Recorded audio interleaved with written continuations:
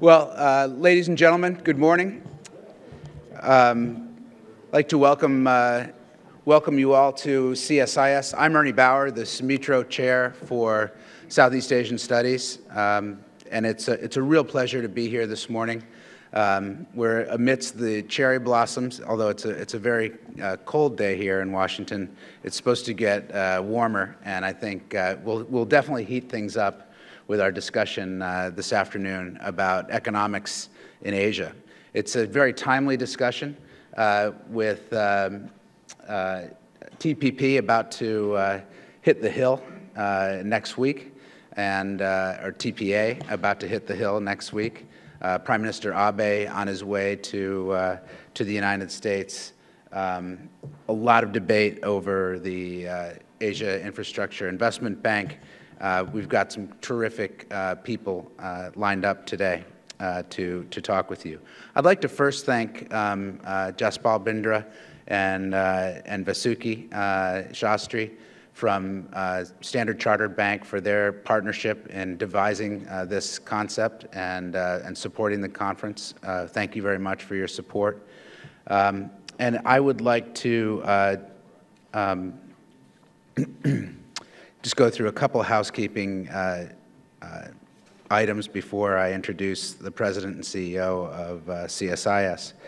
The conference today is Financing Growth in the Asia Pacific, um, and we are broadcasting today's conference live on our website, uh, csis.org, and we invite you to connect with us through our Facebook page, CSIS Chair for Southeast Asia Studies, and on Twitter at Southeast Asia DC and at CSIS.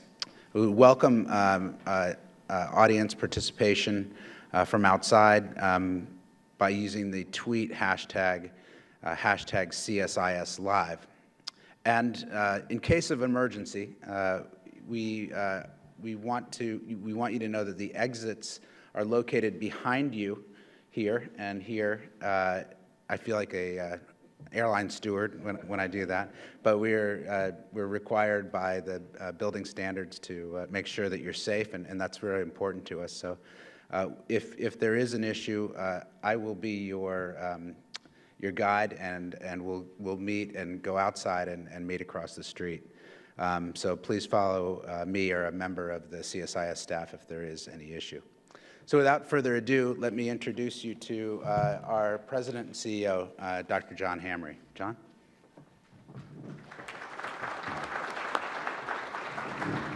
Good morning, everybody. We're delighted to have you here. I mean, it's a kind of a gray day, but uh, the cherry blossoms are livening everything. It's just fabulous. Would, this is probably the nicest year we've had in 40 years I've been in Washington. It's just splendid.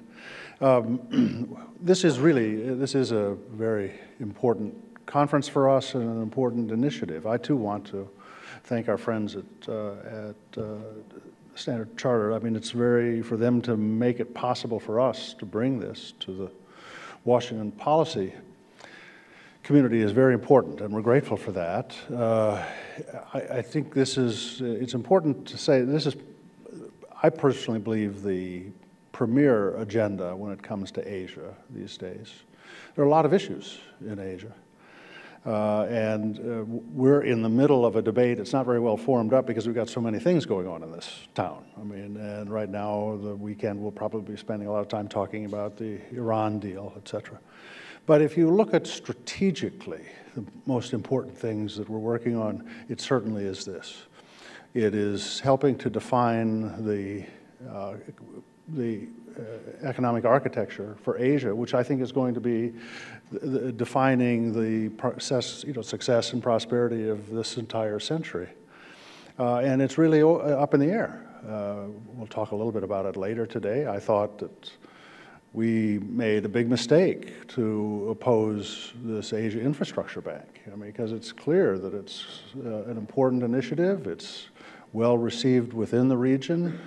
America is defining itself outside. It doesn't make a lot of sense for us. And so at the same time, I think we're pushing hard, finally pushing hard on a, uh, TPP. I think we're going to see some real progress over the next couple of weeks. And I think that's very good. Uh, so we're, you know, it's uneven, uh, because we have so many competing interests and uh, activities. But it is, we're moving in the right directions, and this is the, the, the, the I think, the defining issue uh, of this, certainly of uh, the next, the rest of this decade, and I think will be defining how we proceed through the century, honestly. So we're very lucky to have, uh, have uh, Gita Wirjawan to be our keynote speaker today. He's, uh, he's a man who knows us well enough to know how to talk to us.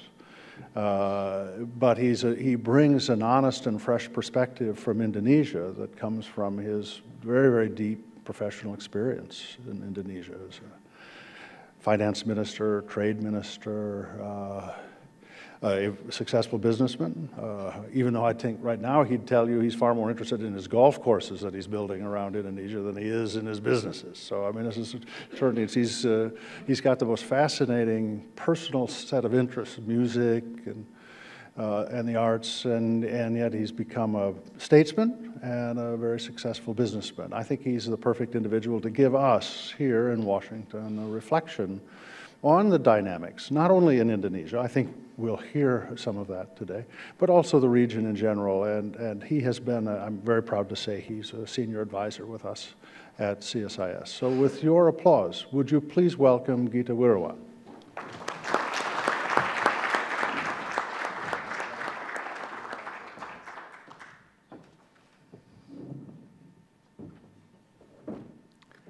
Very good morning to all of us. I want to say thanks to Dr. John Hamre and Ernie Bower from CSIS for inviting me to be here this morning.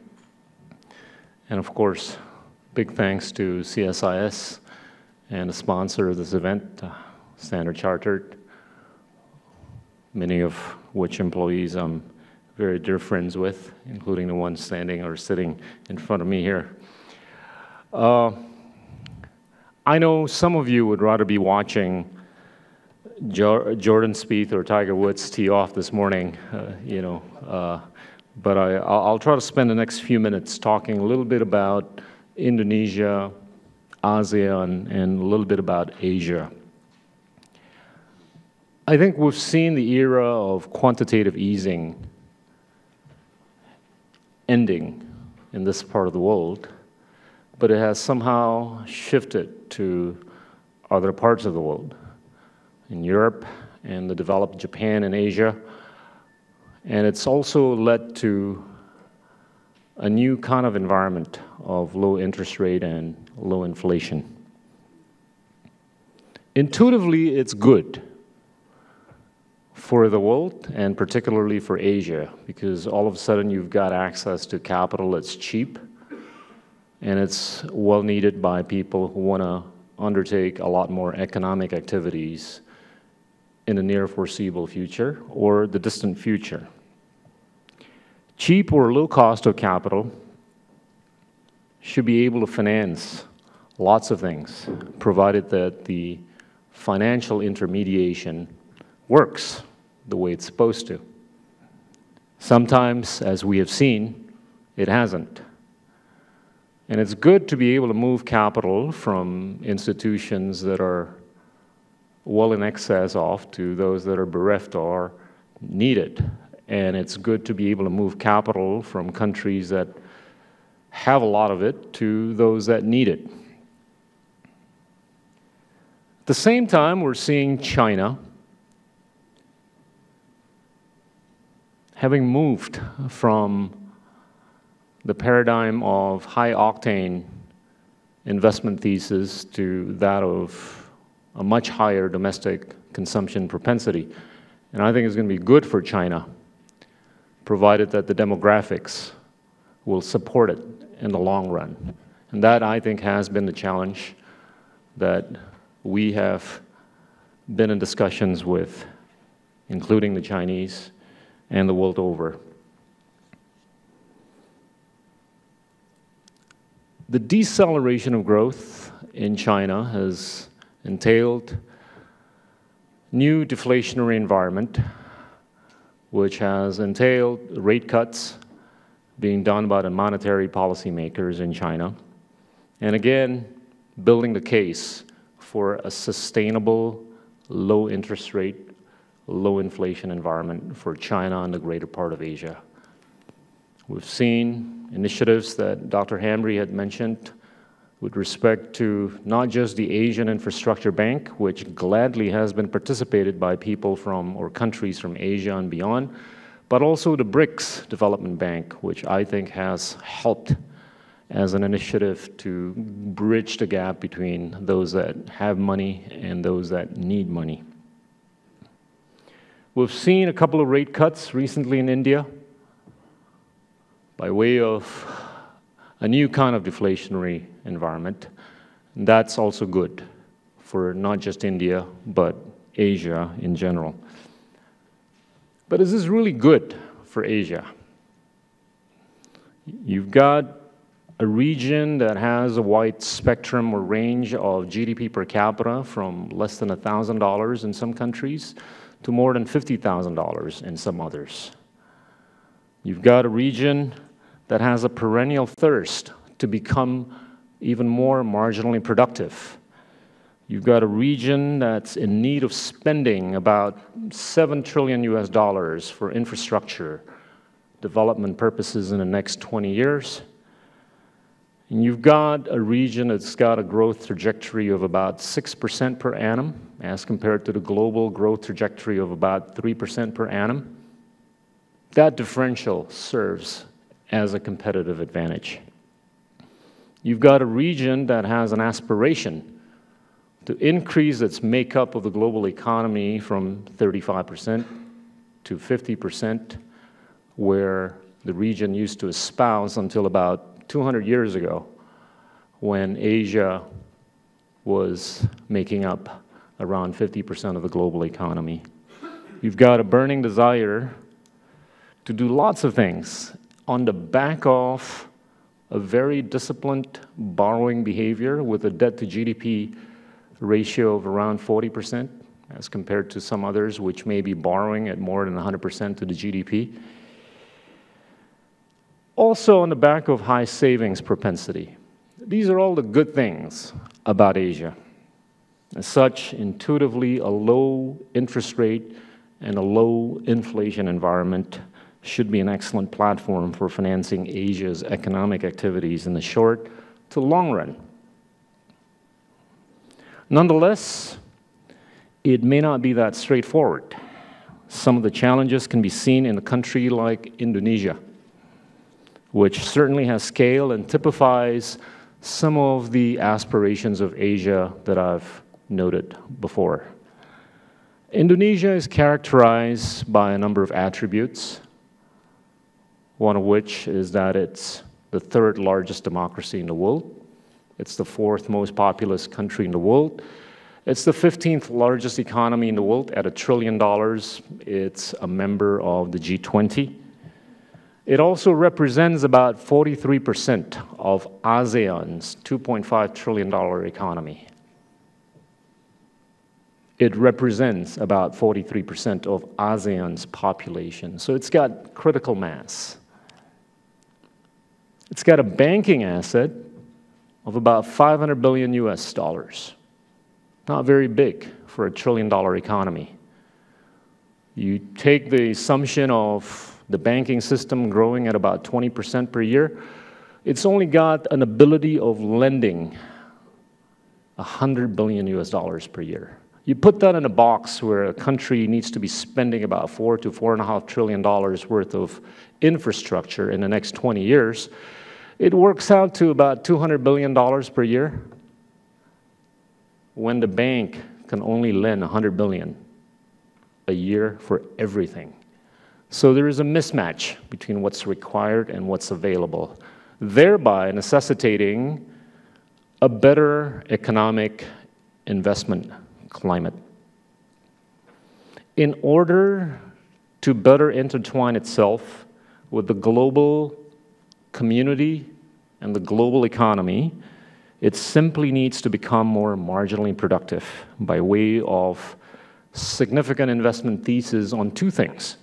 The first being the soft infrastructure, i.e., education, where, in my calculation, I think the country needs to be spending between two to two and a half trillion US dollars in the next 20 years if we were to be able to properly move up the value chain from where we are.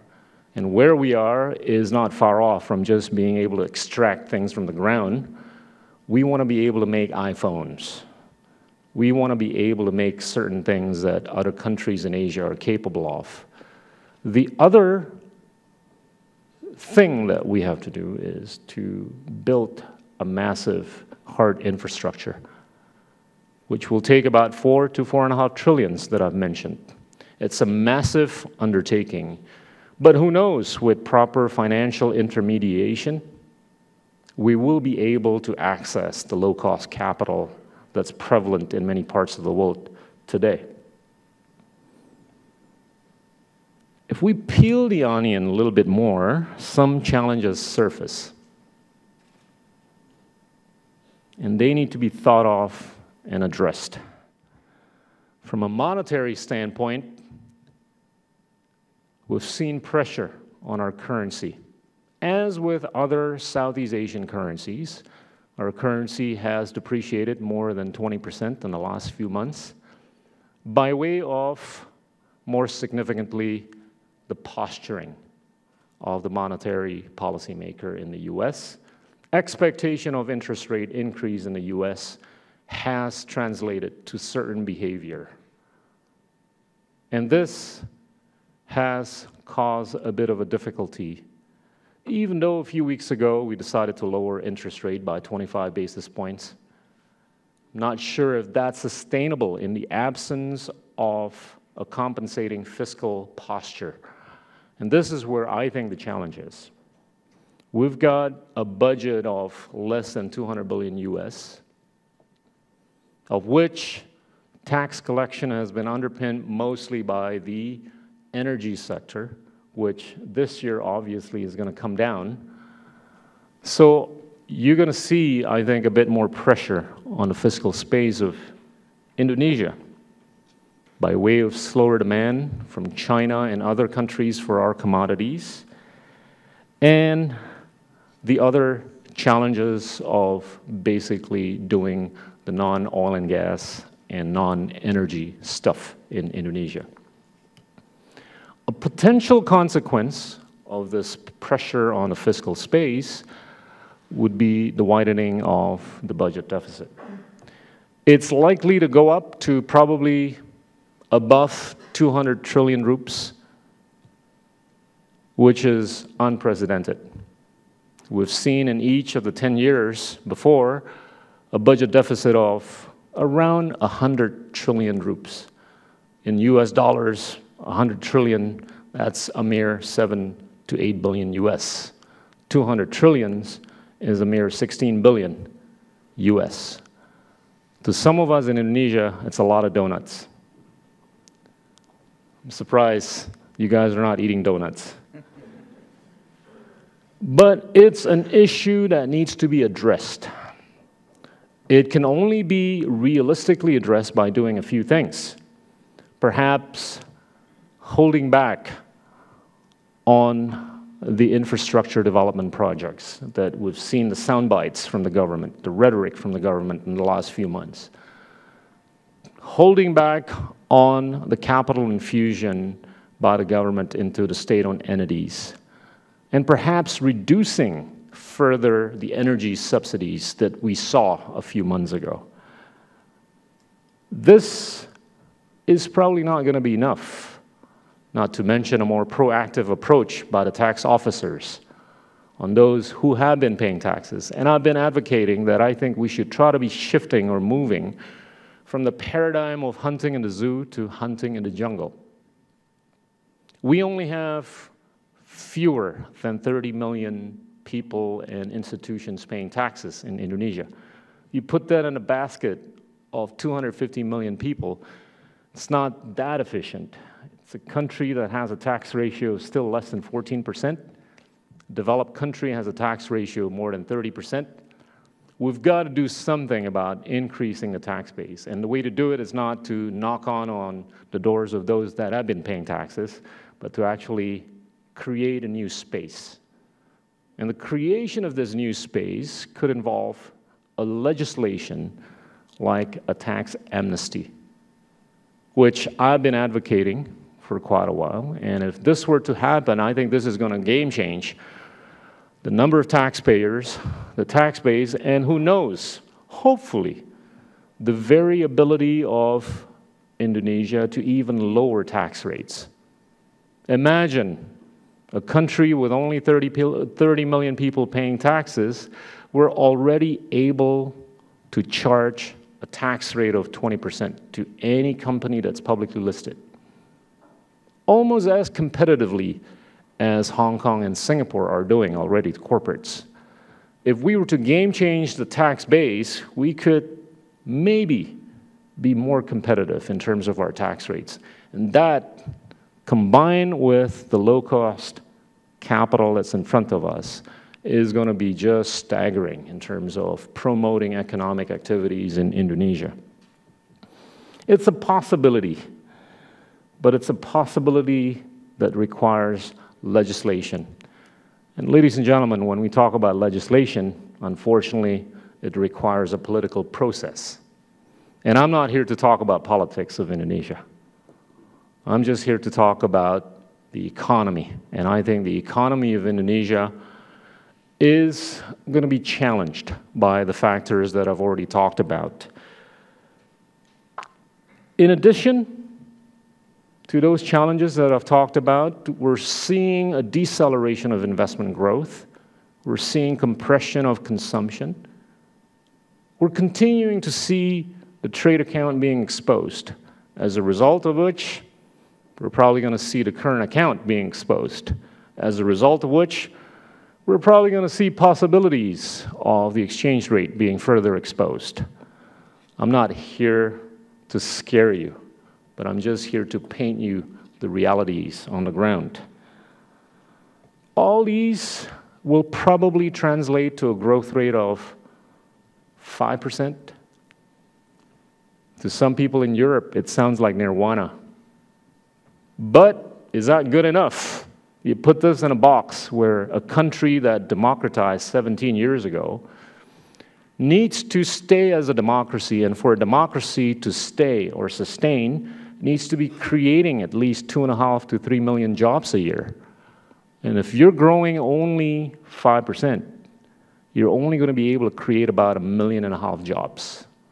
Let's not forget, we're still at the low end of the value chain. So it poses some risks to our ability to sustain democracy if we don't get it right. Getting it right means growing at more than 5%. And that is part of the broad Asian aspirations that I talked to you about earlier. We've seen some positivity in terms of financing growth the Asian infrastructure, the BRICS Bank. These are all institutions that are going to be providing capital. But as you all would know, capital provision is not just about having capital. It's about having the right framework, the right structure, the right environment, the right climate. And we need to make sure that the right climate is there and the right climate continues to improve it's not likely to improve if the labor market is not changed. It's not likely to improve if we continue to do things that perhaps may make some of our neighbors in Southeast Asia nervous. And that is something that needs to be addressed going forward. We're seeing new paradigms of trade agreements involving Asia. The TPP, aptly pointed out by Dr. Hamre. I think the next couple of weeks will be defining moment for the Asia-Pacific region. And Asia does aspire to have its trade value over the Pacific Ocean being symmetric with that of the Atlantic Ocean. That will take us back to where things used to be 200 years ago. That's a real possibility. But at the same time, it is a diverging issue. It is a divisive issue for some members of Asia, some members of ASEAN even, because some members of ASEAN are on a different level of thinking. They're thinking of intellectual property because they're earning more than $50,000 GDP per capita. How about those guys that are still earning less than $1,000? They're still trying to worry about whether or not the factory for textile could be built in the nearest village. But this needs to be amalgamated so that we get together and grow together. And I think it's possible. If you take a look at ASEAN, which is a $2.5 trillion economy, the intra-trade of ASEAN is less than a trillion dollars. When you know some members of ASEAN are trading at more than 100% of their GDP. So there's room for improvement for ASEAN. And it's not acceptable for us to be intra trading only at a trillion dollars or less when our economy collectively is at 2.5 trillion US dollars. Are we adequately invested? No. We're absolutely inadequately invested. Indonesia has a fixed capital formation ratio of only 30%. China, near 50%. Some other countries in, in, in ASEAN have a fixed capital formation ratio of close to 40%. But you've got countries in ASEAN that are barely investing at less than 20% of their GDP. But this is all going to go up if that money flows. That money could flow from here in the US, could flow from China, could flow from Japan. And this is all that we have to work on to make sure that we grow. We grow at more than 6% per year for ASEAN, for Asia as a whole, so that we can compete, so that we can be marginally productive than ever. The challenges are there. You peel the onion a little bit more. You know, democracy is great, but it's also challenging when you can't put food on the table the way you want it, the way it should be. And you've got countries in ASEAN that are going through somewhat of a political process, and this could have some implication on growth. But if you take a look back, the last 50 years, the beauty about ASEAN, which is very different from the European Union, is that we have not had hostilities. We've been able to keep peace for the last 50 years. And peace, as some people take it for granted, is a necessary commodity for growth. Stability is a necessary commodity for growth. And I think we've got a real chance at keeping this sustainable for a much longer time. So the delta will be not just making sure that peace is there, stability is there, but the delta will be taking advantage of the access to this low cost of capital that's prevalent. Thank you very much. Will you take some questions? Um, Gita has, uh, Pak Gita has uh, kindly agreed to uh, take some questions, so I'd just invite you to uh, in, um, raise your hand, uh, identify yourself and your organization, and uh, be happy to answer some questions. Okay, in the front here.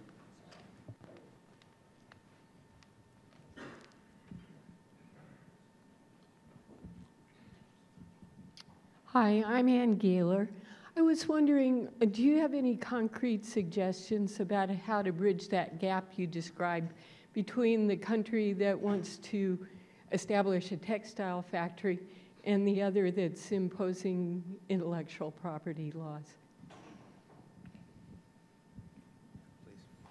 Look, I, I'm not proud of standing up here and saying that Indonesia is not participating in the TPP discussions. And my days in the government previously were interesting in the sense that, you know, it was my first lesson to learn about politics. And being in politics, sometimes life gets to be a little more complicated than being outside politics. And my pitch has always been, you know, Indonesia is not at a point to be able to ascertain as to whether or not this would be net beneficial for us to dwell into discussions like a TPP, to dwell into discussions that are very, very 21st or 22nd century in trade discussions, right? Because of not just where we are in terms of the value chain, but in terms of where we are in terms of the politics. Because there's still a lot of people in Indonesia who don't understand things the way they should. And it does take time. So, my pitch when we were trying to attract money to come to Indonesia was always to give the most realistic picture of what's happening. Yes, it is a corrupt country. Yes, it is an uneducated country. But if you were to take a 20 year view of this country, question is whether or not this is going to be less corrupt 5 years from today. Whether or not it's going to be more corrupt 5 years from today. Whether or not it's going to be more educated 5 years from today. And it, it, it dovetails back to your question. Countries that are earning $1,000 or less a year will have a lot of people, relatively speaking, or absolutely speaking, that don't get the kinds of discussions that many people here in this part of the world are engaged in. But it doesn't mean that they will not get it. It only means that it's going to take more time for them to get it. And the time will be accelerated if collectively we take a view on how to make sure that we stay together and how we improve welfare together. And I think ASEAN has been a very good example. We don't have tax unionization, we don't have fiscal unionization, nor immigration unionization, but we have a union on three pillars security, politics, culture, and economy. Slash. And all these three pillars have kept us together in ways that we can actually achieve a pretty modestly, if not modestly robust growth. And that's good for the region. So, yes, we may not be able to understand it now, but we will understand it. And you got to take a view on the trajectory as to whether or not we're going to be there in the next few years. Yeah. Uh, The gentleman in the back here. Thank you. Um, Paul Cadario from the University of Toronto. Uh, I'd be interested um, in your thoughts about the evolution of rule of law in uh, Indonesia. Uh, certainly, there's been some advance on the ability of the courts of Jakarta to deal with uh, corruption issues and to follow up the government's activities, uh, PKK. But at the same time, I think there are still questions that investors and indeed people wanting to do business with Indonesia would raise about uh, both protection of private property and the behavior of the criminal courts, most recently with the Canadian teacher. And while I know you won't comment on a specific case, I'd be interested in your thoughts on the general question of what needs to be done to the legal system. Well, the, the good thing is I'm no longer in the government. So I'm not on the spot here as much as I used to be. You're right, there have been cases where you tend to question as to whether or not Indonesia is going to be able to get its act together on being able to enforce laws, rules, and regulations. But then I, I, I again go back to directionality right? You're going to see bad cases for the next 10 to 20 years. But the quality of badness is, I think, what you're going to be questioning more. ever since I've lived in Indonesia, you know, we haven't seen a time that, where we didn't have any corruption cases. But let's not forget, you know, we had the anti-corruption agency set up in 2004. It came into effect in 2005. We put behind bars more people than ever, you know, compared to the preceding 30 to 40 years, inclusive of ministers, bupatis, mayors, governors, business community members, you name it. More than a thousand have been put behind bars. Is that good for business? That's not good for business because you know that if you're a bad guy, you're not going to survive. But there's still some bad guys who survive. There's still some questions about enforcement of rules, which unfortunately involve multinationals in Indonesia. Again, my answer is invest in the soft part. This is a country that only has 30,000 PhDs, right? Indonesia has only 30,000 PhDs in a context of 250 million people. India has close to a million PhDs. China has close to a million PhDs. India is able to produce a million engineers a year. We're, we're not near that number. And this is a country which has been able to improve the welfare of its government officials pretty dramatically in the last 10 years. But I'll tell you this you know how much I was making when I was a minister? I was making $1,800 a month, plus a sack of rice. Right. Luckily, I was able to play golf before I joined the government and make a living. So I could say and do whatever probably most of you or all of you could say and do. But some of my friends in a government, you know, didn't come from the same kind of background that I did. It's going to be tough when you've got five kids, two of which are sick, they need to go to the hospitals. It's not mentioned your wife wants a Gucci bag. The temptations are there. And I do believe that the, with the creation of the fiscal space in Indonesia in the long run, where we're going to be able to go from 14% tax ratio to hopefully in the next 10 to 20 years, 25% tax ratio vis a vis the GDP, oh boy, I mean, it's staggering in terms of how much the future minister is going to be able to make. I think they're going to be able to make as much as my Singaporean counterparts are making. You know, they're making in the millions. Now, when that happens, combine that with our ability to produce a much better investment climate, better labor market, better financial intermediation, I think the future could be a little bit better. But you're right, there are some realities that hurt. But are those realities going to diminish or decrease over time? I'm quite optimistic.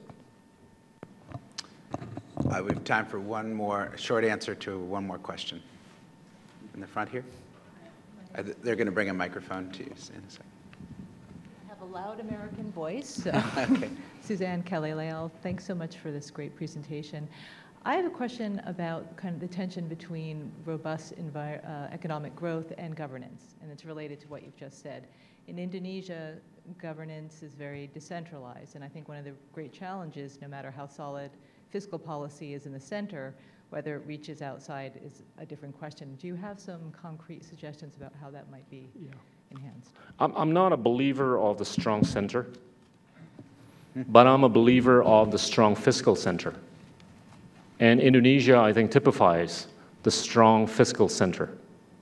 If you take a look at the budget of each one of the 497 regencies, municipalities, and provinces, on average, 70% of their budget comes from the center. It's actually net good. Why it's net good? Because if you've got a sensible guy in Jakarta, he or she could tell anybody in Papua, in Aceh, Kalimantan, Sulawesi, or Nusa Tenggara, hang on, I gave you that money to build that school. How come there is no student? How come there is no teacher? I'm going to do one of two things. I'm going to send you to the anti corruption agency, or I'm not going to give you this money again next year.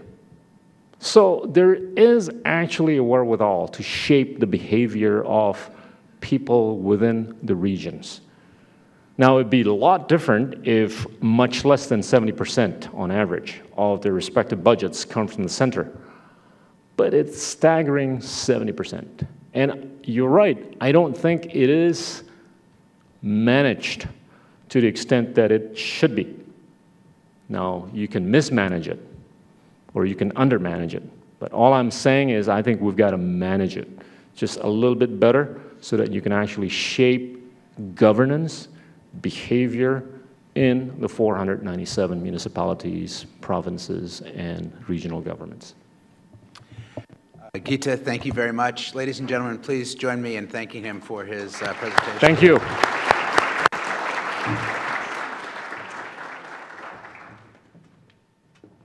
We are uh, going to transition now. We've got a panel uh, coming up that will be led by my colleague Matt Goodman, our, our Simon Chair for Political Economy. Uh, we're going to look at uh, the slowdown in growth in Japan and China. So uh, if I could uh, call that panel up. And thank, again, thank you, Gita, for your presentation. you and I can exit stage left. Thank you.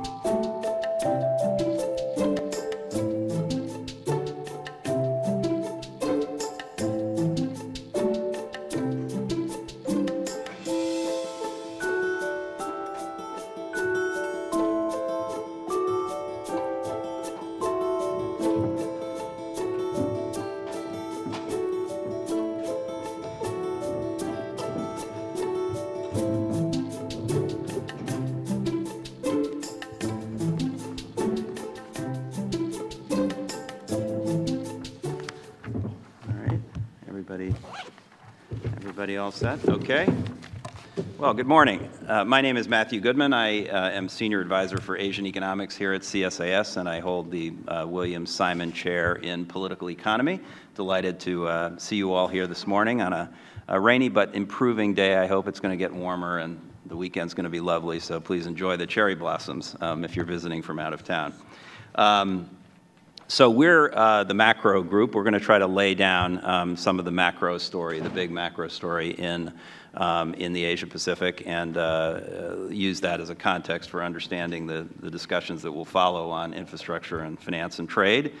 Um, so we have a, a, a powerhouse uh, panel here. Uh, in fact, when I look at this panel, I uh, yesterday my my younger my youngest child turned 18 and so I'm getting nostalgic about, uh, about uh, childhood memories um, uh, for my uh, children. And I think about going to Kiddieland in Rehoboth, uh, Rehoboth Beach, um, where there are a bunch of different machines. And if you put in a quarter in some machines, you get lots of tickets that come out.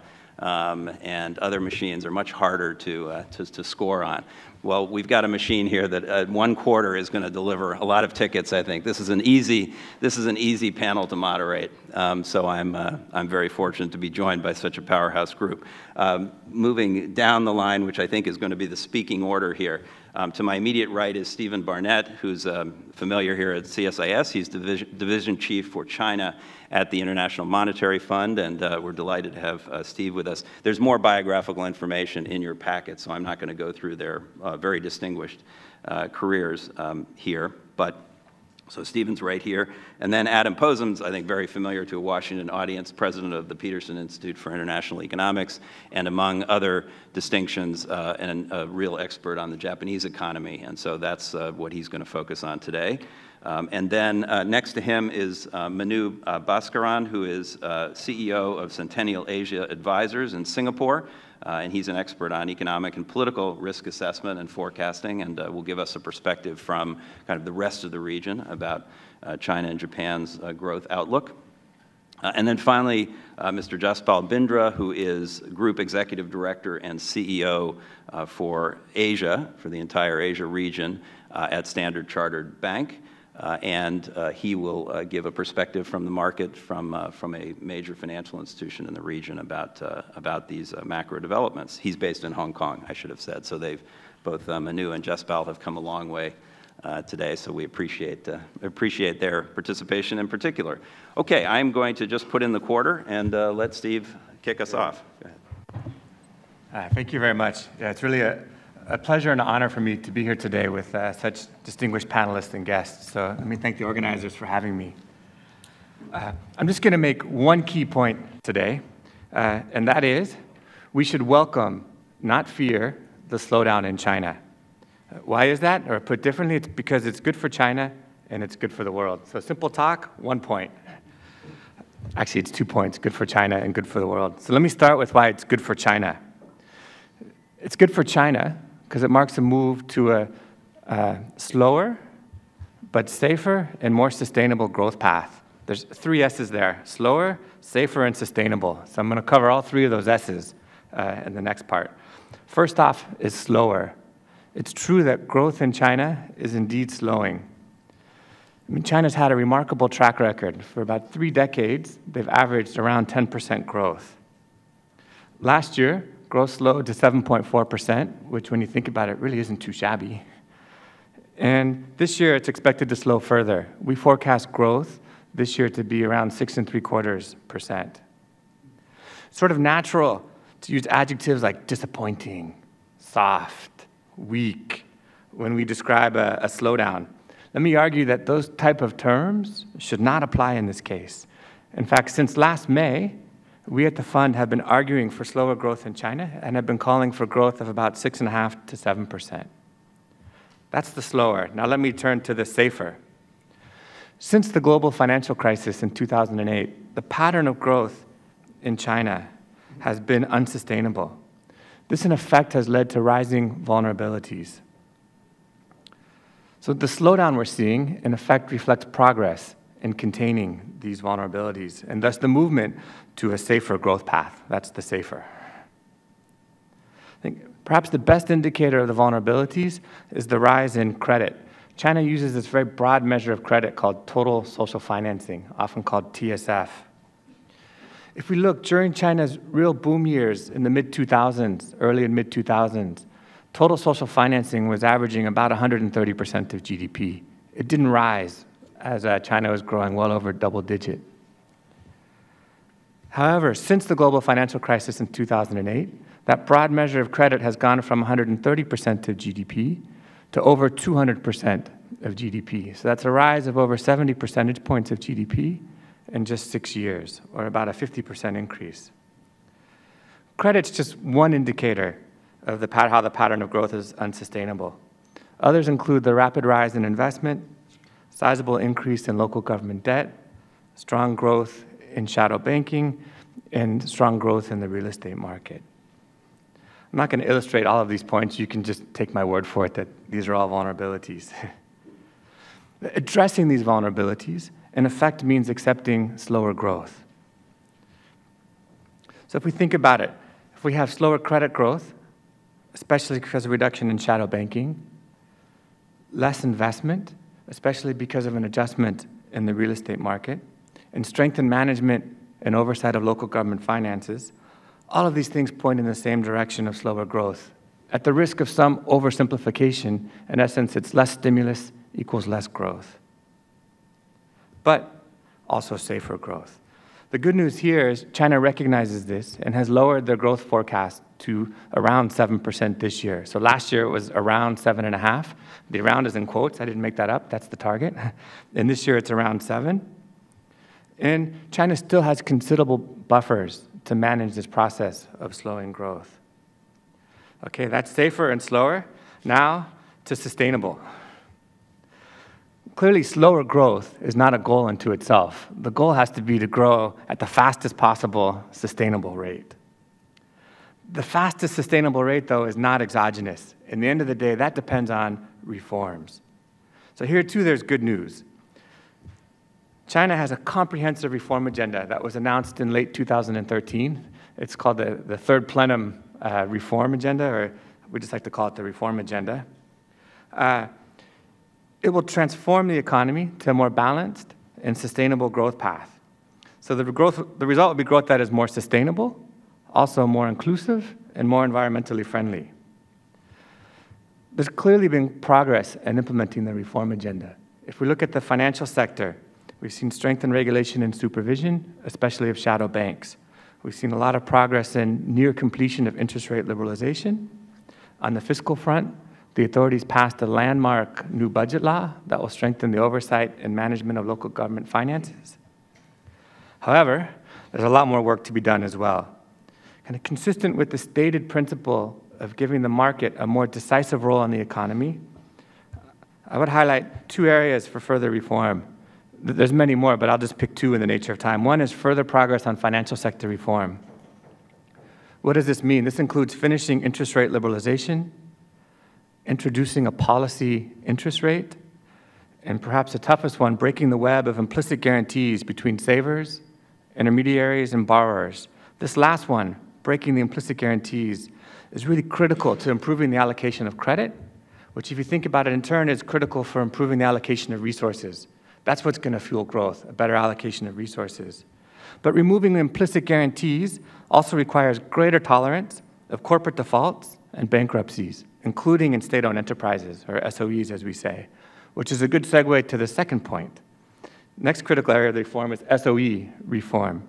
The goal here is to level the playing field to ensure that there's room for the dynamic private sector firms to compete, grow, and create jobs, especially in the service sector. And if we look back at China's remarkable track record, where I started this uh, story, we see that China's success is not an accident. China's success reflects the willingness at critical junctures to undertake bold reforms. If we look in the late 1990s, there was SOE reform, where China laid off tens of millions of workers. Then China joined the WTO, and if we look at the really strong growth in the mid to early 2000s, it was almost all fueled by private sector manufacturing, which in turn created even more tens of millions of jobs. So in real simple terms, what we need today is another wave of similar type reforms this time in the service sector. I'm almost done. That was the good for China. Let me just conclude with the thought that it's also good for the world. How could slower growth in China be good for the world? After all, China's been contributing about one quarter, more than one quarter of global growth since the global financial crisis. Here, the thought is, is really simple. Slower growth in China today, as part of a move to a more sustainable growth path, means much higher income in China in the future. So if we look at 2020, our models suggest that compared to scenario with no reforms, growth would, e income, income would easily be 5% higher in China. Given China's size in the global economy, that's about 1% of global GDP. Seems like a price worth paying, a little bit slower growth today for much higher income in the future. And that's why we should welcome, not fear the slowdown in China, because it's good for China and good for the world. Wonderful. Okay, thank you, uh, Steve, for that very clear and concise presentation. And, and I don't need to sum it up because I think his, his, uh, his bottom line was pretty clear at the beginning and end um, and an encouraging one. Uh, I should just engage in one little piece of shameless uh, advertising, which is that we just completed a report uh, last week on uh, Chinese economic decision making, and it's up on the CSIS website and, and, and echoes many of the themes that Steve um, just portrayed. So I agree with his assessment and think it's. Uh, um, uh, as I say, encouraging for the region uh, that the largest economy in the region is, um, is uh, slowing in a sustainable way, if that's true. Um, so let's move to the second largest economy in the region, uh, still a very uh, important one, uh, and where the messages are sort of mixed. I think, you know, some things about Japan seem to be getting better. In some other areas, there still remain to be a number of questions about the outlook. So Adam, can you take us through that? Um, thank you, Matt. My thanks to Ernie Bower for including me in today's panel. Uh, it's always an honor to play the Palace on Rhode Island Avenue. Uh, it's and to see this crowd. I I'm going to indulge in a bit about China before I turn to Japan. Um, the Peterson Institute also does quite a bit of work on China, and we just released our semi-annual economic forecasts on Tuesday this week. Uh, Nick Lardy, our expert, spoke about the Chinese uh, slowdown, again, in similar terms to what Steven did, but that puts us all, all of us on this end of the table at least, in a very different place than the consensus, which is a statement that there isn't this financial uh, risk, or rather the risk is small, and we're not seeing a downward cascade in China. And I think a piece that was implicit in what Steven said that, that Nick, it's available on our website, Nick made more explicit, and Steven and his colleagues have made more explicit in other places, is that part of the sustainability change in China is a rebalancing towards domestically led growth. And domestically led growth, in addition, of course, means more imports from the region. It means China moving up the value chain rather than trying to stay in the lower value added parts of the value chain, which of course should mean more investment in the region. And it means a less resource intensive in terms of natural resource per unit GDP going forward, although there will obviously continue to be great resource demand. And those three components of the Chinese shift, I think, are the ones that matter most, for, in addition to the fact that China gets on a path of, say, six and a half to six percent growth for a sustained multi-year period. And so I just want to affirm that our own analysis, the Peterson Institute, Nick Lardy, and our team generally agrees with that of Steve on this, and the IMF.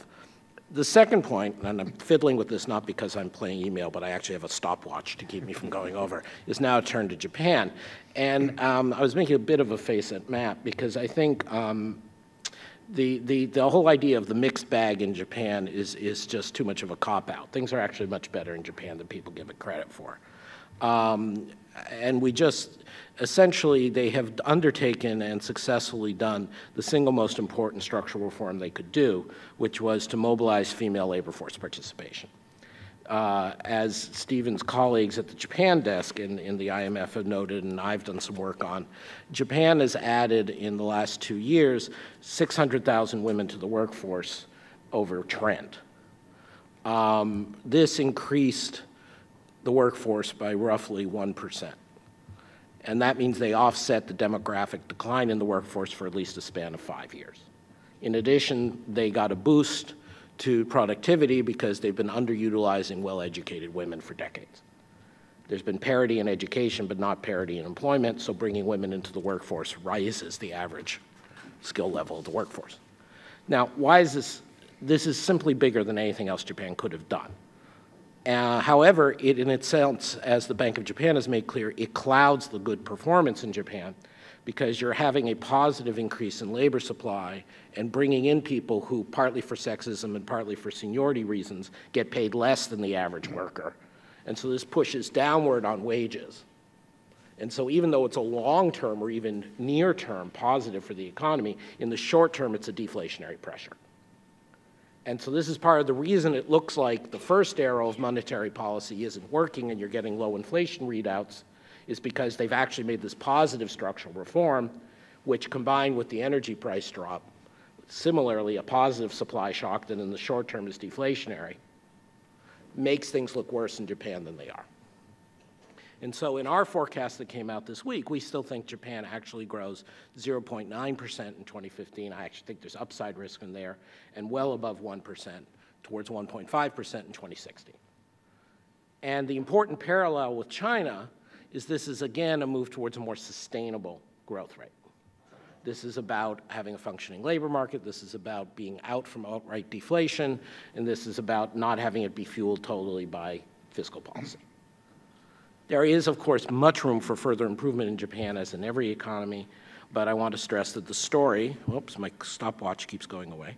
Um, the, the, story, the story is much more positive and much more sustainable than people think. And importantly, although the trade and investment issues will come up from my colleagues here and later in the day, Japan has finally looked like it's going to step up on agriculture in the necessary way to make TPP come together. And that, of course, is the linchpin to all this because they can't get the U.S. deal without doing the agricultural reform. And if you have a bilateral U.S.-Japan deal, then together going off of our opening speaker, you start having common standards on IPR and other things. But the opening of Japan's market in agriculture provides access for less developed countries to get in.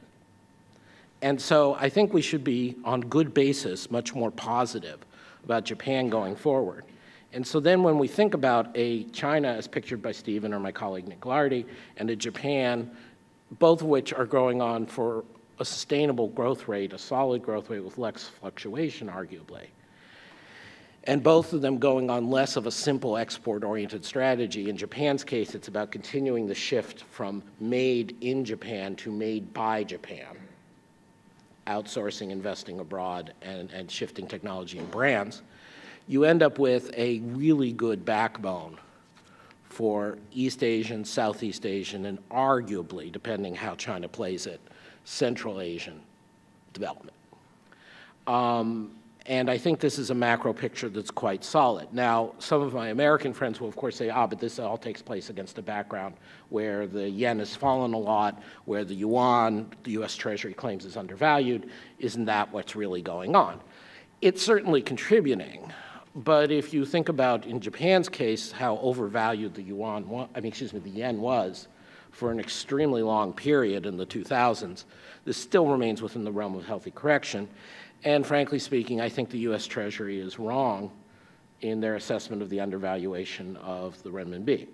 Um, they're right about Korea, but that's another story. Uh, so this is not simply an export boom. So the question then comes upon my colleagues in the private sector, the people in the rest of, of Asia, notably in Indonesia, whether they are able and willing to take advantage of this, and whether in the official sector we can get past some of the nonsense that the U.S. created about the AIIB to have a more fruitful support for cross-border investment flows. On the macro picture, I think we're actually in surprisingly good shape. Okay, thanks. I knew whatever I said to frame Adam's remarks would uh, provoke a, um, a, a, a, response correction. that a correction. So, so uh, I could have said anything, and he would have said no. But seriously, I, I, agree with your assessment. I mean, I think broadly things are looking better in Japan, and and I do think the structural form. I'm interested that you focused on the structural issues because I, I, assumed you were going to talk uh, mostly about the macro, but the structural is really important, and I think there are some some things happening there that uh, certainly in 30 years of watching Japan I haven't seen before in corporate governance reform and in the labor markets, in agriculture. So uh, so I think there are some some definitely some positive trends there. Um, okay, let's shift to the rest of the region, and and first of all, I'm interested, uh, Manu, if you want to comment on sort of how you think, what you think about this relatively benign view of, of uh, the two biggest economies in the region, and then uh, take it from there. Thank you, Matthew, and uh, morning, everyone. It's uh, good to be here with so many old friends in the audience as well. I'd like to uh, look at China first because the impact of China and the way it works its way through to the rest of Asia is very different from Japan. Talk about Japan and then end with some conclusions about policy and vulnerabilities in the rest of Asia.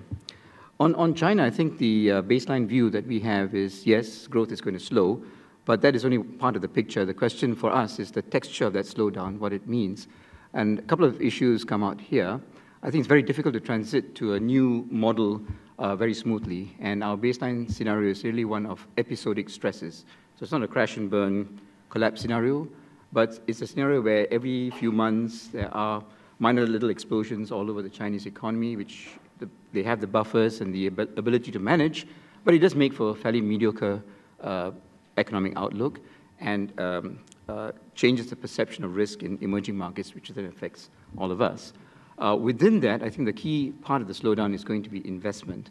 And if investment slows and savings will not slow as quickly, then clearly there's going to be a huge impact on the current account surplus, which will increase significantly and thereby contribute to global imbalances. So with that scenario in mind, what's the impact on the rest of Asia?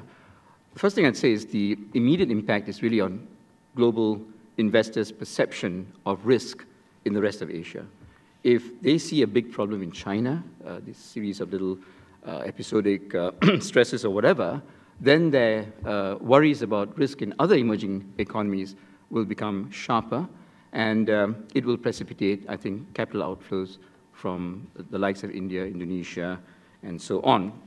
And uh, if that happens, I think my main concern is Indonesia, and I completely agree with what Gita Wirjawan said earlier. In fact, I'd put it more starkly. I think uh, economies where the current account deficit has not been brought under control compared to two years ago, uh, countries where there are some question marks about central bank policy and its credibility, countries where their political stresses will, will suffer more than others in that context. And I think Indonesia, with its history of sudden devaluations and, and spikes in inflation, you know, expectations of the exchange rate, expectations of inflation are extremely volatile in Indonesia, and things can uh, destabilize very quickly there. So I, am a bit concerned um, what this would then have, this impact would have on Indonesia. The second uh, transmission mechanism is really through export of goods and services. And here, uh, if it is the case that it is really capital goods imports that will come down more sharply, then I would guess that Southeast Asia will be less impacted than uh, Korea, Japan, Germany, the US, which are the main capital goods exporters to, to China. In Southeast Asia, the main exports to Indonesia would be food-related raw materials like palm oil, and uh, intermediate goods. I would guess that the majority of those intermediate goods are really for the export processing platforms in China, uh, not for production for domestic indigenous demand. And that would be less impacted. So I think Southeast Asia uh, will, of course, be hurt if uh, Chinese growth slows, but I think in a relative sense, it will not be as hurt as much as others. Um, but um, in a different uh, transmission mechanism is the export of services. And tourism has become a very important uh, way in which China affects uh, developing Asia.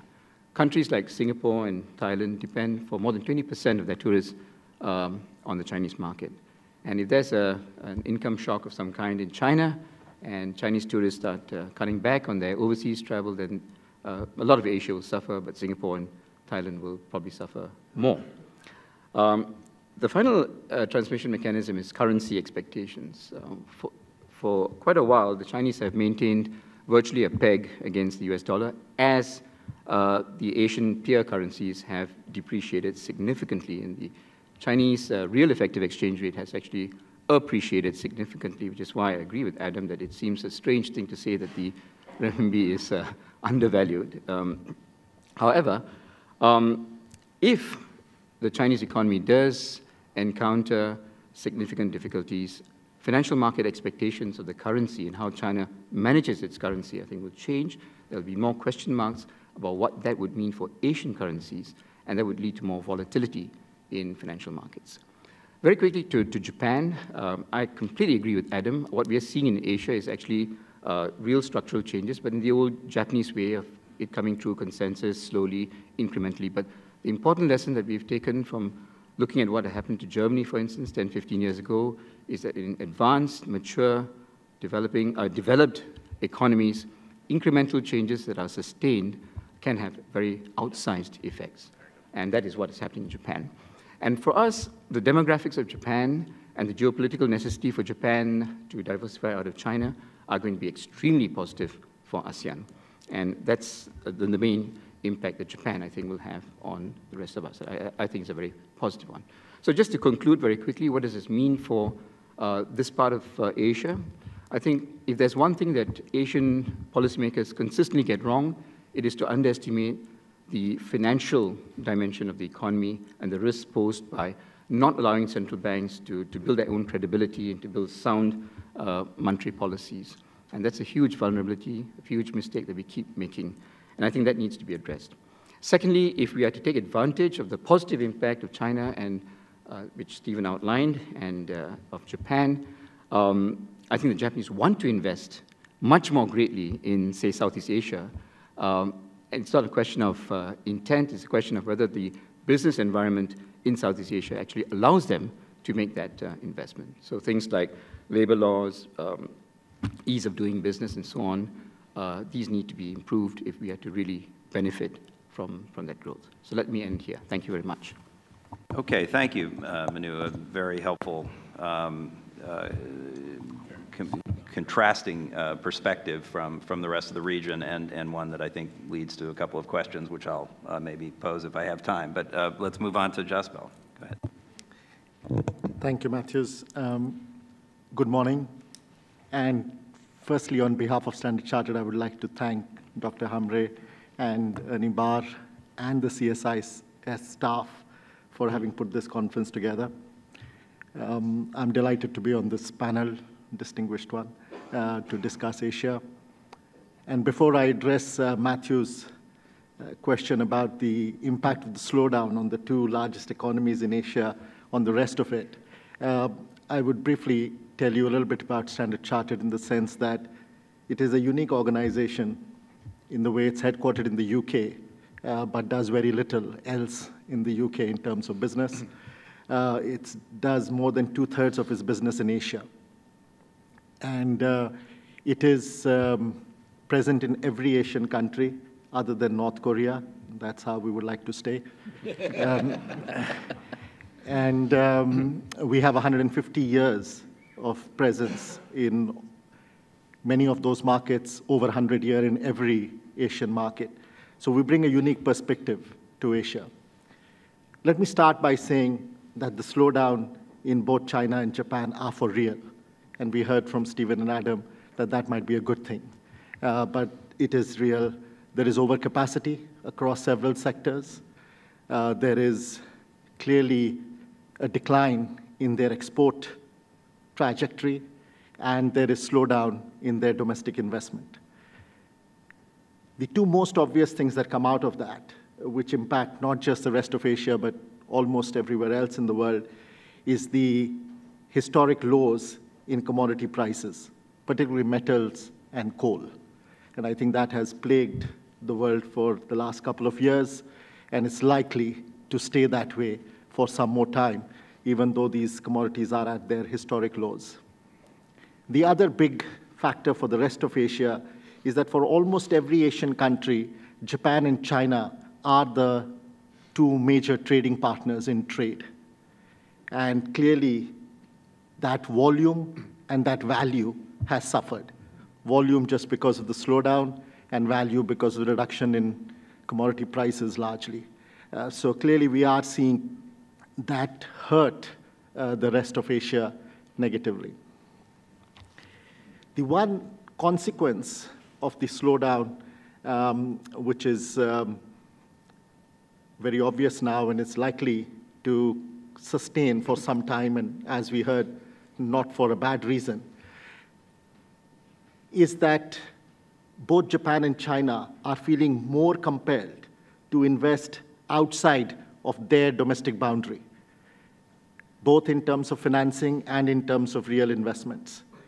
And you're seeing that happen bilaterally, government to government.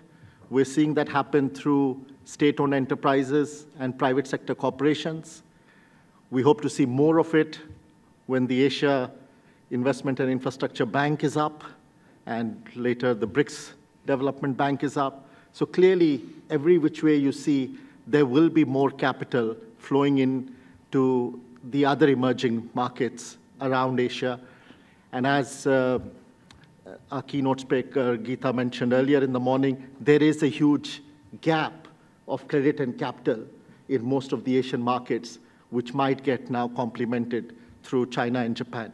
And it's happening already. We're seeing it happen The Japanese banks are very aggressive and generous, uh, much to our dismay in competitive terms. Uh, but clearly, it's all happening uh, as we speak. The other fallout, which could be positive for emerging Asia, is not largely related to the slowdown, but different reasons for the two different markets. For China, the labor cost is now forcing industry to move out to more competitive manufacturing grounds, particularly the low cost, the low value manufacturing elements. And I can give you some sort of general statistics. The cost of labor per month in China is $700 uh, US dollars, which is still cheap by global standards. But the cost of doing it in Vietnam or Bangladesh or Sri Lanka or Cambodia is less than $250 a month. So there's a great incentive to move things out to that part. And that is going to benefit a large part of the emerging Asia because they're going to see this continue. Japan, for a very different reason, has to hollow out its manufacturing over time because of demographics. Uh, Japan has now reached the point where they're adding negatively to their working labor force. So they're losing more from their labor force, productive labor force, than they're adding to it. And I think that factor itself is going to make that happen. So I think there will be a large benefit uh, to markets outside of Asia. What it will, however, do, it won't let China and Japan stand still on that uh, uh, sort of pattern. They are going to focus a lot more on the service industry because that has been a missing complement of their economy for a long time. And I think they are going to enter the service sector. It requires less labor. It's kind of more the high value end. And I think that's where they're going to come and play. And to some extent, it will hurt some of the other emerging Asian markets which have had a far better run on the service sector than China and Japan, uh, or they've had a far better run without the competition from China and Japan and now might face the heat a bit from there. Let me sort of boil it down to an overall Asia conclusion. And the reason you should still be uh, looking at it outside in from the US, you should still be reasonably optimistic on Asia. I think um, demographics in most of the Asian markets, particularly the emerging Asian markets, are far too attractive to ignore for the multinationals from here, for consumer goods and demand, etc. They are fantastic markets, whether it's India, whether it's Indonesia, it's Vietnam, it's Myanmar, it's Philippines, they are fantastic. If you look at urbanization, most of Asia is still much below 40% urbanized. They're all headed towards 60, 70% urbanization. And the reason I say that with some certainty, being present as a bank, having worked myself there for the last 20 years in Asia, the mindset of the people who are rural or semi-rural today is already urban uh, because of the global connectivity, because of the awareness uh, that uh, media has created, social media and otherwise. And so that process is getting accelerated, not just by how much the government wants to do, but by the aspiration of the people. So I think urbanization is going to be a very big factor. The third out of the four factors I was want to talk about, the third is, in my estimation, going to be the single largest factor, which is going to be productivity increase. It might surprise you to know that the best, most efficient economy in Asia is today only 30% as efficient as the United States. And most economies are 15% or less efficient as the United States.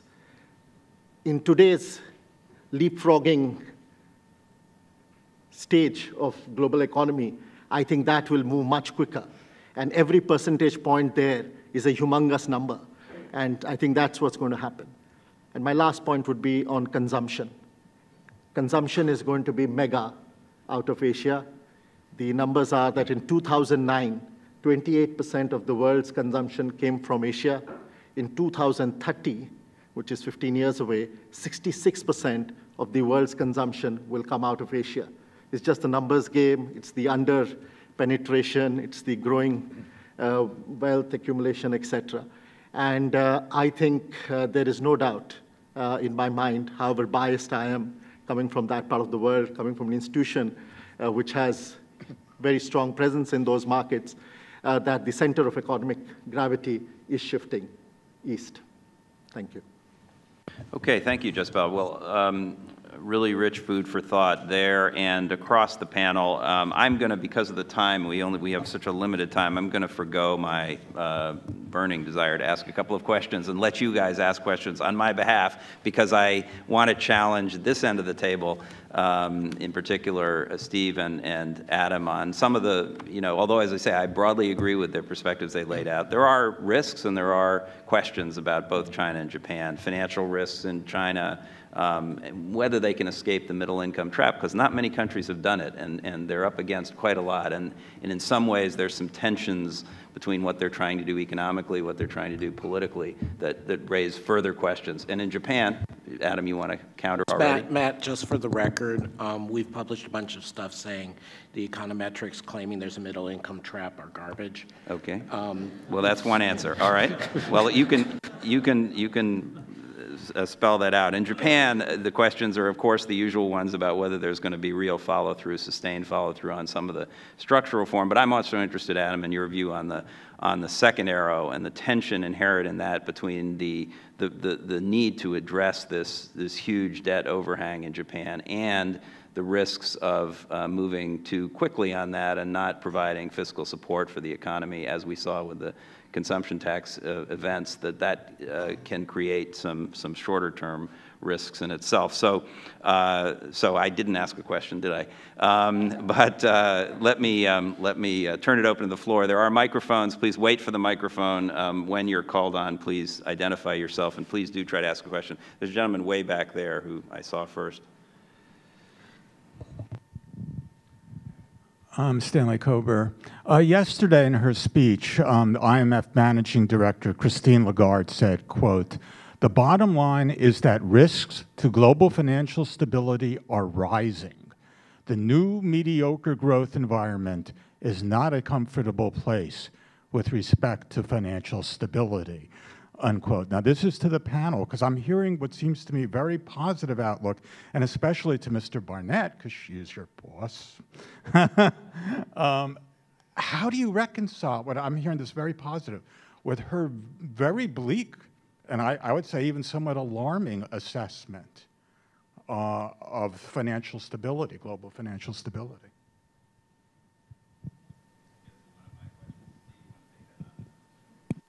I, I, like my job, so I'm not going to disagree with uh, my boss. But I, I, think that statement, or that statement was not with regard to China. It was a broader statement about the global economy, in particular, advanced economies. I think if we look at the financial stability risks in China, there's a lot of very China-specific characteristics. Credit growth in China, as I argued, has been up a lot, and it's almost if we look kind of a, across countries and across history, it's almost an unprecedented increase. At the same time, if we look at the stock of credit in China, it's still well below the levels you see in advanced economies.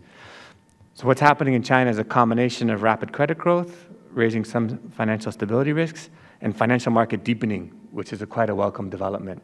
The, the key challenge is, is to manage that. And if we look over the past year, the flow of credit in China last year was negative. We don't usually think of credit in the flow, not the stock, but the amount of new credit in 2014 was actually less than the amount of new credit in 2013. If we look at so-called shadow banking, that also was shrinking rapidly. A very technical way of saying China, uh, for which I'm most qualified to speak about, has done a lot to contain the risks of financial stability. Since, since Christine Lagarde isn't my boss, let me, let me just throw in a bit more. Um, it is nowadays perceived as the people in responsible positions, of which she is one of the most prominent, that you always have to say there's terrible financial risks around the corner. It's kind of like with the terrorist threat warnings in the U.S. that they never go below yellow. Um, it, it it's, it's, it makes one sound very prudent And, and in line with, with, with small c conservative thinking, it doesn't mean it's right. Okay, thanks. I saw a gentleman over there who was, Hi, my name is Brian Yanantuano, and I'm with the Amison Education and Cultural Exchange Foundation. Given China's downward growth trajectory, what effects will this have on their outbound direct investment to the United States?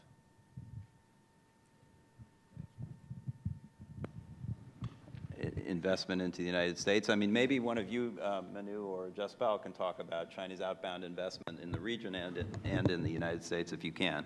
Sure. I think uh, we shouldn't get too deceived by percentages and numbers uh, because we are talking about uh, a slowdown, not a terrible growth. Uh, you know, it's still way above the peak rates of growth in the developed world at their best. What uh, you must realize, just sort of conceptually in your head, is that China adds Australia's economy every year, and every three years it adds an Indian economy to its growth. So that, that is the kind of trajectory. Um, they will, their resources are humongous, and uh, they're sitting on huge amount of foreign reserves. So clearly, their challenge is more to find the avenues to invest rather than the willingness or desire. They are compelled, they have no choice but to invest. Um, and really, what makes them more attractive? Is it their food security? Is it their commodity security? Is their energy security?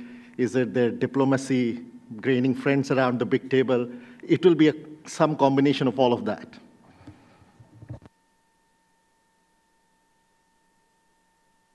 Well, just that the U.S.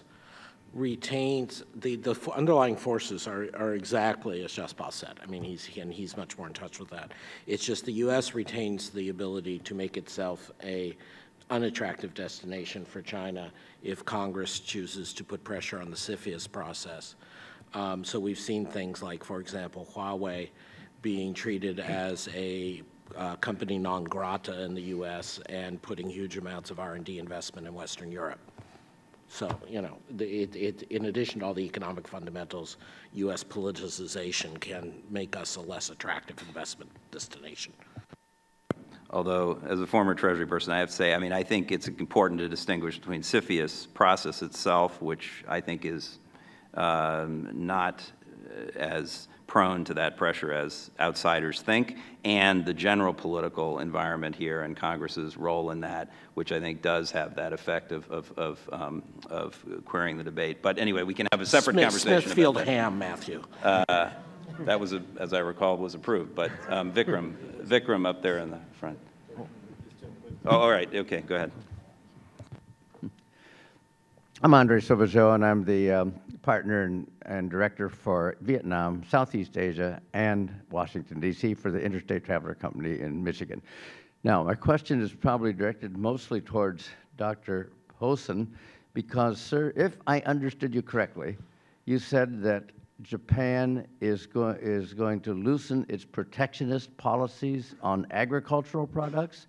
Great. So if they're going to do that, my question is, do you have a sort of an estimate of how soon they'll do it? Because if they do it soon, it could help President Obama persuade Congress to give fast track for TPP. That's correct. That's the whole reason they're doing it. I mean, that's, that's the explicit deal, is that they're doing it to get the TPP. And so the U.S. Uh, and Japanese negotiators are explicitly talking about, they're still leaving rice protected, but they're explicitly talking about what are the reductions in tariffs going to be on dairy, pork, and beef, and replacing the very complicated pork price support system in Japan with a straight-up tariff, probably in the single digits.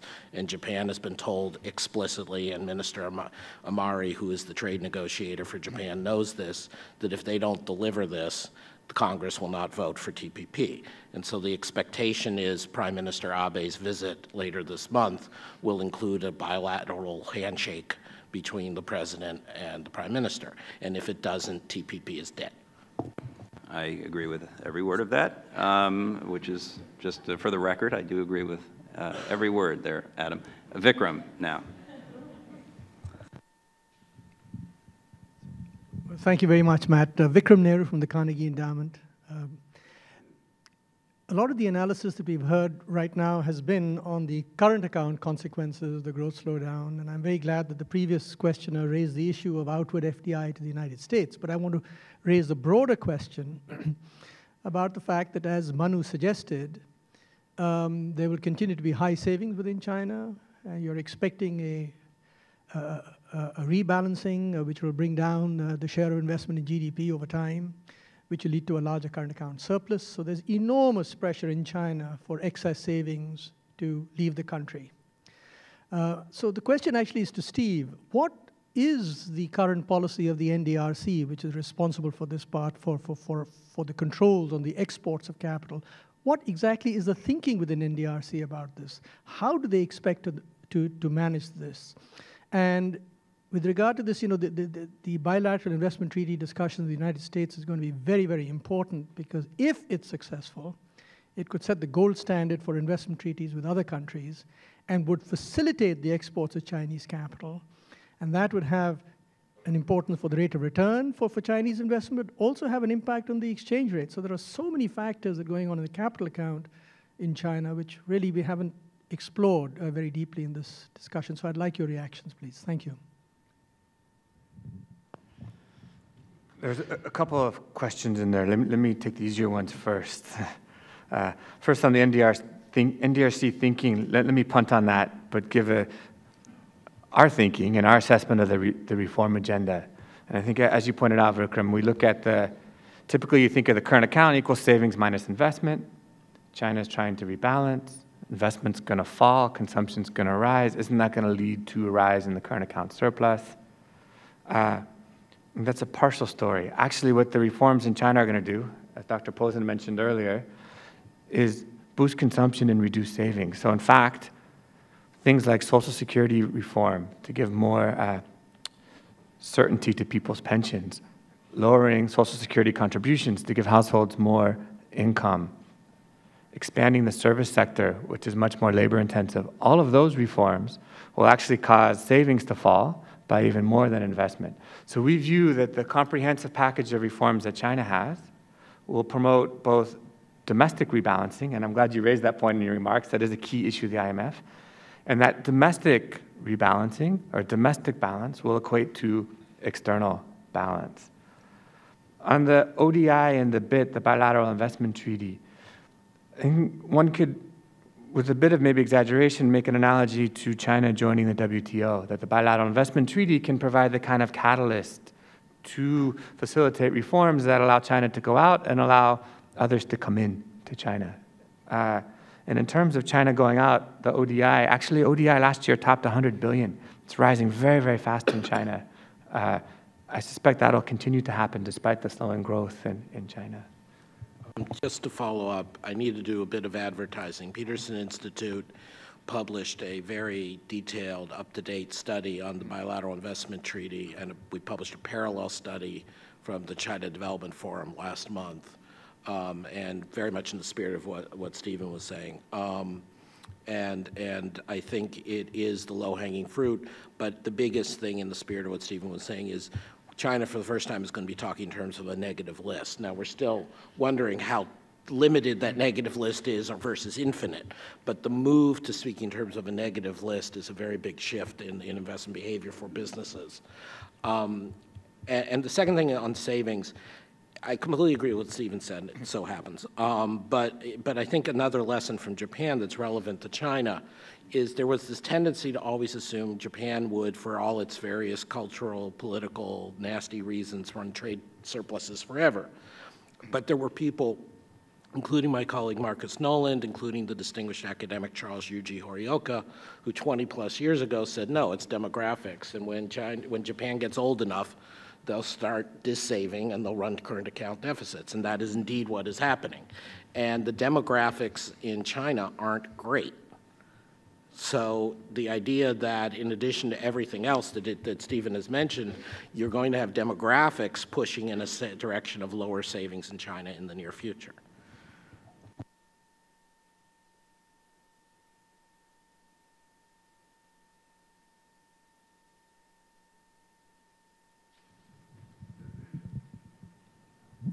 Hi, Panga with China Xinhua News Agency.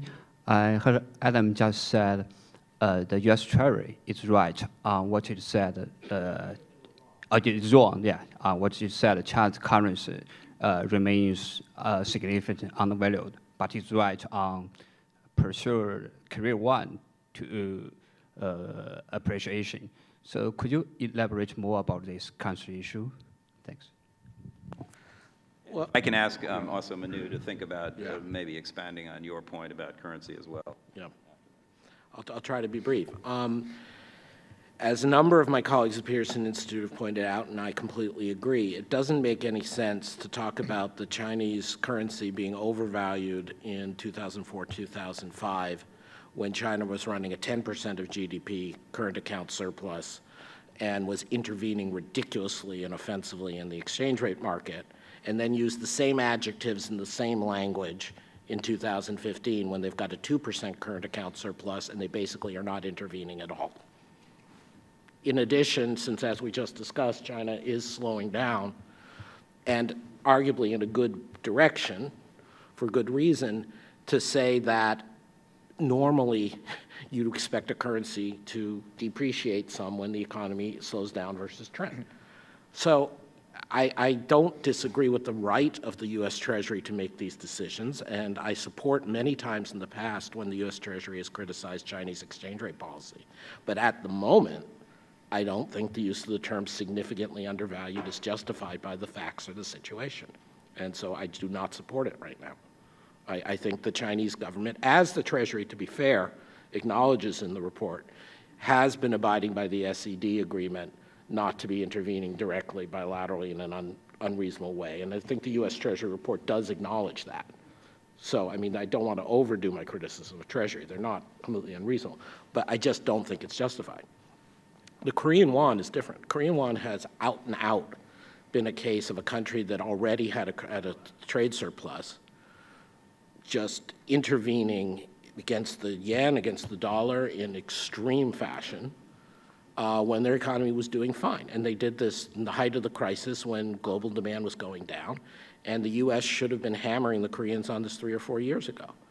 And it, it is ill-timed from a variety of tactical perspectives for them to mention this now. But again, as an analytic point, if you had asked me to name the single biggest manipulator and uh, harmful person on this, not person, a government on this front, of currency manipulation over the last five years, it would be Korea. Yeah, just uh, very quickly. I mean, the other measure of um, whether a country is manipulating exchange rate is uh, foreign exchange reserves, and China has not been accumulating foreign exchange reserves anymore. In fact, reserves have been declining, which suggests it's not intervening. Um, but taking a step back and uh, looking at the overall picture of currencies in Asia, um, over the time, Chinese productivity growth is probably going to exceed average productivity growth of its trading partners.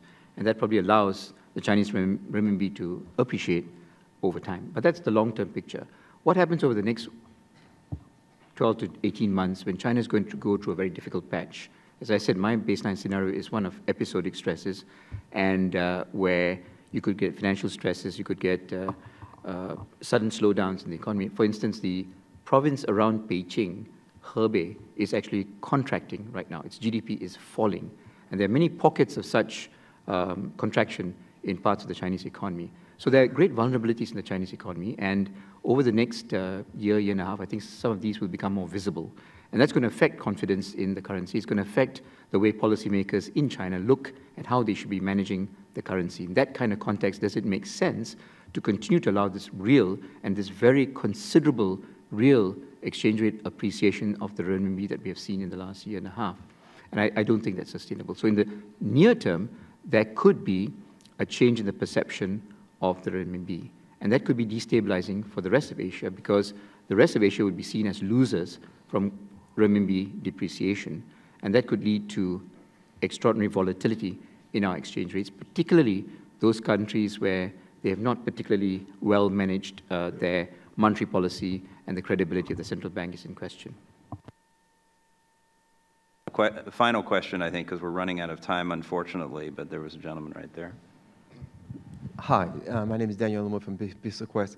Uh, my question is, who, uh, given the restructuring that's happening in Asia, particularly in China, who will, what countries will be the next winners? Because before, when uh, there were a lot of commodities countries were benefiting from uh, sending their uh, commodities to China, and now that China is really making a big push toward the consumer uh, sector, um, some, there will be some losers and there will be some winners. Uh, what, what countries do you see as the winners uh, going forward next five years? Thank you. The one-line answer to that would be countries that can attract manufacturing sectors which are going to move out of China and countries that can attract the investments that China will forcibly have to do outside since they're not seeing the growth domestically. I would say those two categories would be the winners. Can I just uh, add to that? I think Southeast Asia is going to be a huge winner. Uh, there's a confluence of positives which I think will bring uh, the ASEAN region back as a premier destination for foreign investment. You're seeing rising synergies from economic integration. You're seeing the return of once laggard economies like the Philippines and Myanmar. And that's good not just for those two countries, but for all of ASEAN. Uh, you're seeing, after 15 years of gross underinvestment in infrastructure, the beginnings of an infrastructure boom, um, not just in Indonesia, where it's slow, but in Thailand, even in Singapore, Malaysia, this is happening. So the investment share of GDP is going to rise, and that's going to lead to higher economic uh, growth. So for a whole set of reasons, uh, I think ASEAN is going to look much better. Of course, when you look at the country-specific situations, there are issues with politics, uh, issues with uh, financial management in the short term, but I think the real supply-side factors argue for a much stronger growth performance in ASEAN relative to the rest of the emerging market world. Okay, well, with that, unfortunately, we are out of time. That was a, a brief but, but insight-filled hour, and um, please join me in thanking our panel for terrific presentations. We'll need to continue that, and hopefully we'll get a little more into it in some of the other uh, panels. But thanks uh, very much for your attention, and uh, stay tuned. Do we have a short break before, before the next panel? Yes, which starts at 10, uh, 11 o'clock.